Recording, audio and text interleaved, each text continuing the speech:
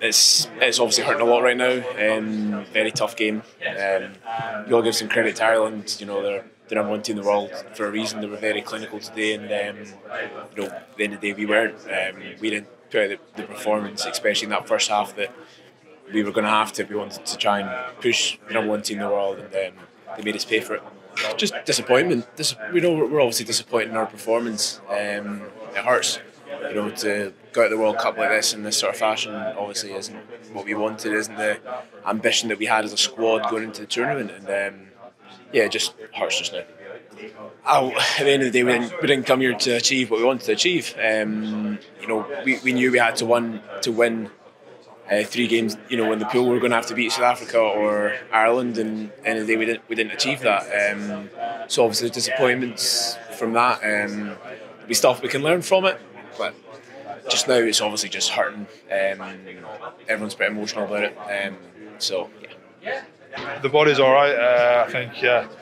Um, obviously pretty gutted with the way uh, we came out. Um, yeah, Ireland played a a very structured game. Uh, everyone seemed to be on the same page from them, and yeah, we struggled to combat that.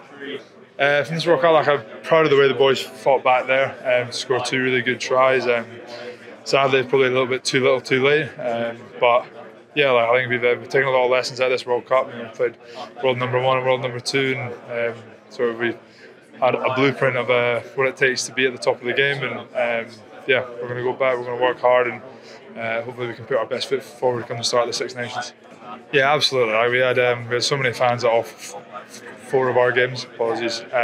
And uh, I think especially when we were out in Lille, when the fans that came to that, when we were having the anthem sung, it was uh, it was incredible. I felt like we were up um, Murrayfield. So um, yeah, no, we, uh, we can't thank the, the, the, sport that came out enough. Um, oh, you know, we always say that Scotland fans are the best in the world, but um, yeah, you know, their support is truly appreciated we're out of the tournament. We, I suppose, you come to a World Cup to win it, and um, we're out of it now. So I'm really disappointed, and yeah, I suppose take me a couple of weeks to get over it, over it, and last rugby, I suppose, and go back home to my family and regroup.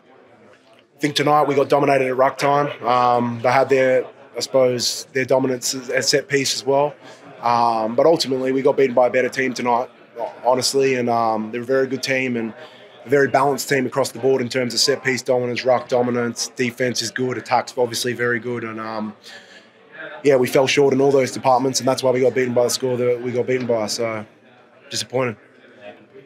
Yeah, definitely, and it was one of our big motivations is trying to perform for uh, the World Cup uh, travelling supporters, uh, the Scottish supporters. So um, oh, I'm so grateful to be out, you know, have the opportunity to play in front of them. And obviously, you got your own family in the crowd as well. So I feel really blessed that I've had this World Cup and my own family in the crowd as well. It's kind of a cool memory. Obviously, it's not the best memory, but um, yeah, it's, I'm, I'm grateful.